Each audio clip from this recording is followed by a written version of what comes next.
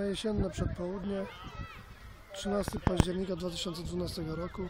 Znajdujemy się na kompleksie boisk pana Zbigniewa Wolfingera w Łanach, gmina Czernica.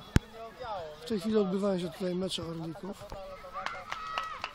Chciałem Państwu zaprezentować obiekt, o którym prawdopodobnie bardzo wielu mieszkańców naszej gminy w ogóle nie wie, że istnieje.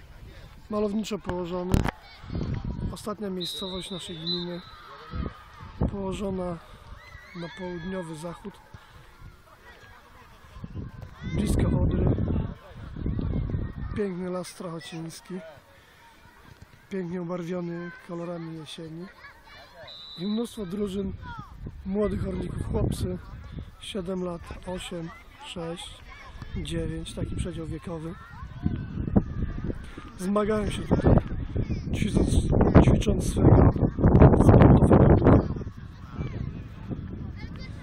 Chciałbym tak Państwu pokazać kamerą ten obiekt i to, co tutaj się dzieje i zachęcić do odwiedzin tego miejsca pięknego, urokliwego. Organizowane są tutaj różne turnieje piłkarskie.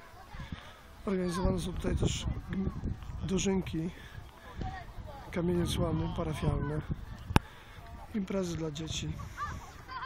Ale warto też jest tutaj przyjechać w ciągu takiego poprzedniego dnia, kiedy nic tu się nie dzieje i poddychać atmosferą tego miejsca, które emanuje ciszą i spokojem. W tej chwili widzimy las Strachociński, który można sobie pięknie wejść, pięknie zwiedzić. Ja na niego mówię, że to jest taki las łańsko-strachociński, dlatego że z tej strony granicą jest miejscowość Łany, natomiast od strony Wrocławia osiedle Strachocin.